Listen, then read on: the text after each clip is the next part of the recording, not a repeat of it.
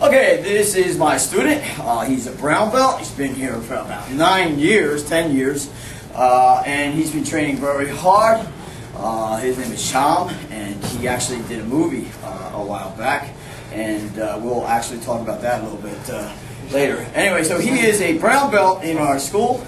He should be in wrestling stance. And uh, we're going to do a couple techniques quickly here, just to give you guys an idea of what we do and uh, the idea of and the strength and endurance of a Goju martial arts practitioner. So this is from a chokehold. He's going to be choking me.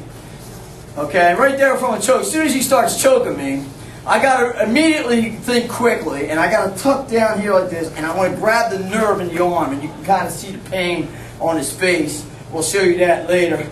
Uh, at the same time, I'm going to take him down with a hair grab, and then I'm going to finish him off here, okay? And then I can always apply pressure here with a, with a lock as well. So, okay, so come on up.